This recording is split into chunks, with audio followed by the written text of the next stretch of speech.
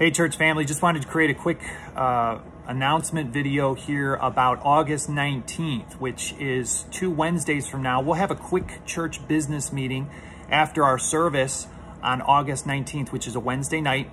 And uh, we're just going to discuss one topic, really, creating the position of uh, a school administrator. And uh, as our as our school ministry grows, um, I think this is a position that is obviously necessary.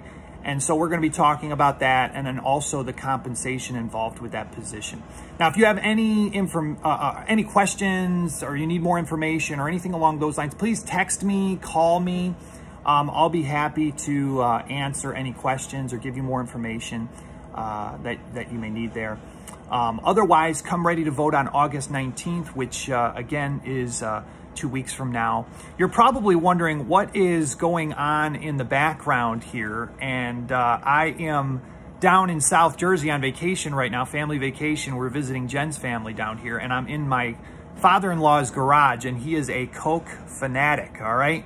And he's got the, uh, the garage all decorated like that. So uh, anyway, that answers that question there, all right? Um, again, looking forward to uh, getting back home and getting back in the saddle at the end of this week and uh, hope that you all, all, all are doing well. Until then, God bless. We'll see you Sunday.